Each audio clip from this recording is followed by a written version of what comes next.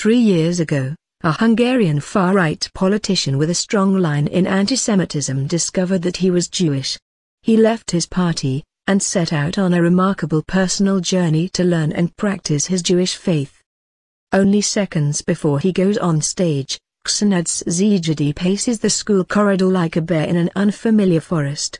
Then the headmaster's introduction is over, the pupils who pack the hall are clapping enthusiastically, and the big man is going up the steps, the blood roaring in his ears. The confidence returns and he plays to the crowd, just as he once did at party rallies, or as a member of the European Parliament. He comes across a bit like the American singer Johnny Cash. Hello, I'm Csanad Szegedi. And the schoolchildren of the Piarist Secondary School in Szeged hang on every word. I'm speaking to you here today, says the tall chubby-faced man, with small, intelligent A's, because if someone had told me when I was 16 or 17 what I'm going to go tell you now, I might not have gone so far astray. As deputy leader of the radical nationalist Jobbik Party in Hungary, Szegedi co-founded the Hungarian Guard, a paramilitary formation which marched in uniform through Roma neighborhoods. And he blamed the Jews, as well as the Roma, for the ills of Hungarian society, until he found out that he himself was one. After several months of hesitation, during which the party leader even considered keeping him as the party's tame Jew as a riposte to accusations of anti-Semitism, he walked out. Not a man to do things in half measures, he has now become an Orthodox Jew, has visited Israel, and the concentration camp at Auschwitz which his own grandmother survived. He discovered that his grandmother wore long-sleeved shirts, or a plaster in summer, to cover the telltale concentration camp number tattooed on her arm. As his old personality collapsed, Szegedi performed radical surgery on himself. He even set fire to copies of his own biography, I believe in the resurrection of the Hungarian nation.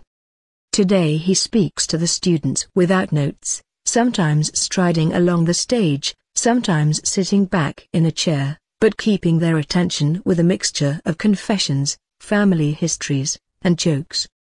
His volte-face seems complete, there are giggles from the girls, awkward squirming from the boys in the audience as he describes his circumcision.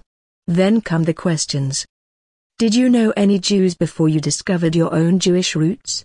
How do you react when you hear anti-Semitism expressed today? Were you a practicing Christian before you practiced Judaism? Was it hard to break with your party? The answers are straightforward. Anti-Semitism doesn't need Jews, because it's based on false premises. It is the projection of one's own fears, and lack of self-esteem. He had a Protestant wedding, but was never christened. Every rupture was hard, but he tried to do it peacefully, and state firmly his own mistakes. And also did his duty to point to the extremism in his old party.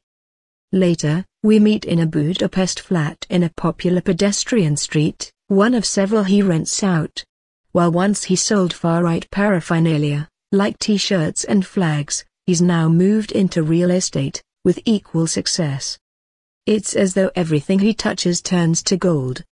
What does he think of the new, more moderate direction, imposed on his former party by leader Gabor Vona? I ask. If Vona succeeds, might he even consider rejoining it, this time as a practicing Jew, rather than an anti-Semite? Szegedi laughs. Only the BBC would ask me that question. Vona had to turn to the center. But the party is still full of people who joined it for its radicalism, its nationalism, its extremism. And they don't want anything less now. So there is a limit to how moderate it can become. There is no way back into politics for him, he insists. Still a patriot, he defends his people from the slur of racism. Hungarian people are not anti-Semitic, although there is an anti-Semitic discourse in society, he says. In fact, Budapest is a great place to be a Jew in, he beams, with its kosher restaurants, synagogues, and Jewish shops. You can practice your culture, and practice your faith here. You might get funny looks if you wear a kippah, a traditional Jewish skullcap, but you won't be spat on,